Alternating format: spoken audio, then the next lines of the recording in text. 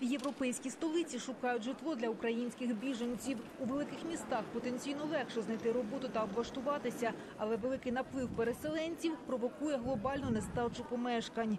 Так, у Берліні місцева влада намагається розселити 25 тисяч шукачів притулку, але вільних місць у спеціальних центрах лишилося усього кількасот.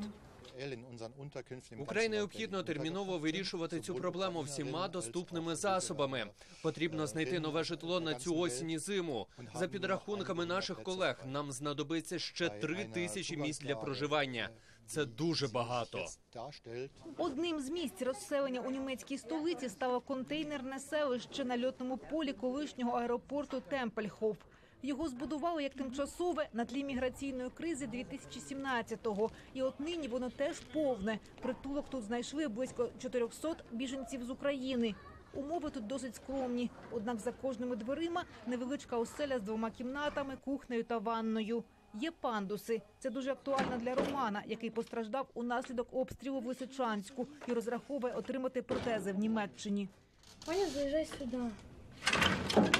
Суттєвим мінусом цього поселення вважають його ізольованість, що заважає швидкій інтеграції біженців. Та тутешні мешканці умовами цілком задоволені. Вагітна переселенка з Одеси Альбіна планує тут народжувати.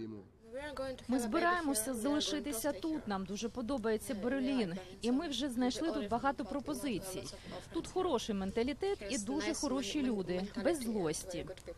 Поселеннями контейнерного типу вирішують проблему житла для українців у Бельгії та Швейцарії. До таких домівок частково переселили біженців у Болгарії. Як шукачі притулку там зареєструвалися понад 300 тисяч наших співвітчизників.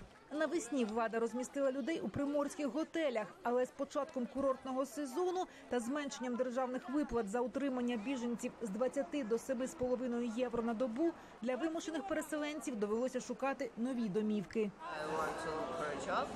Я шукаю роботу, і ми чекаємо одноразової виплати, яку нам дає Болгарія.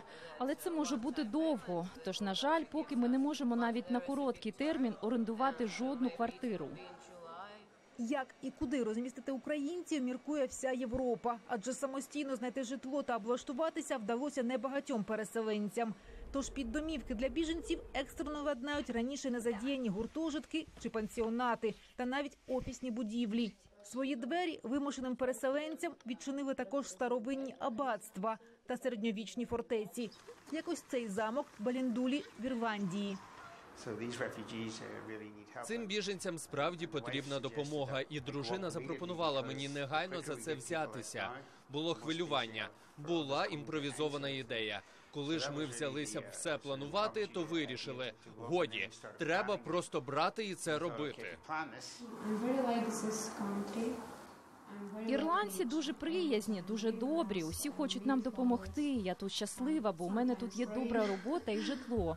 Ніколи б не подумала, що житиму у замку.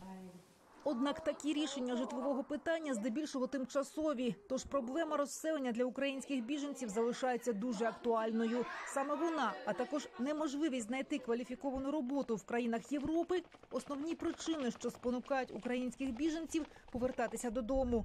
Абсолютна більшість вимушених переселенців це жінки з дітьми. За урядовими даними, назад до України вже виїхало 60% тих, хто шукав прихистку від війни у Європі. А от про наміри залишитися за кордоном назавжди заявило лише близько 15% опитаних. Ольга Жидецька, подробиці, телеканал Інтер, марафон. Єдині новини.